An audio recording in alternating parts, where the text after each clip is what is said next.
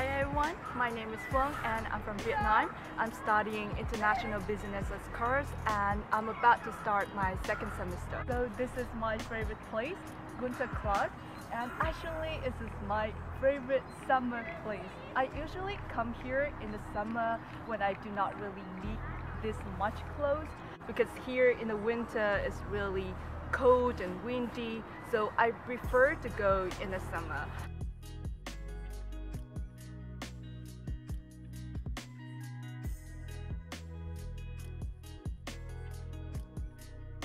Um, so normally I would just come here to chill out with my friend. We're just sitting, having some snack and um, talking and watching the sunset together.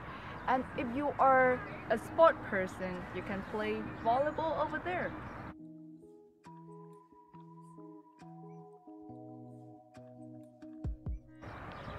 And sometimes I even went here alone just to lying down, having my book and read, just having the good time, you know?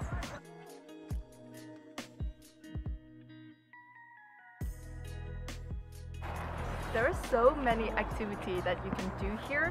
You can play basketball, slide, or um, climb over there.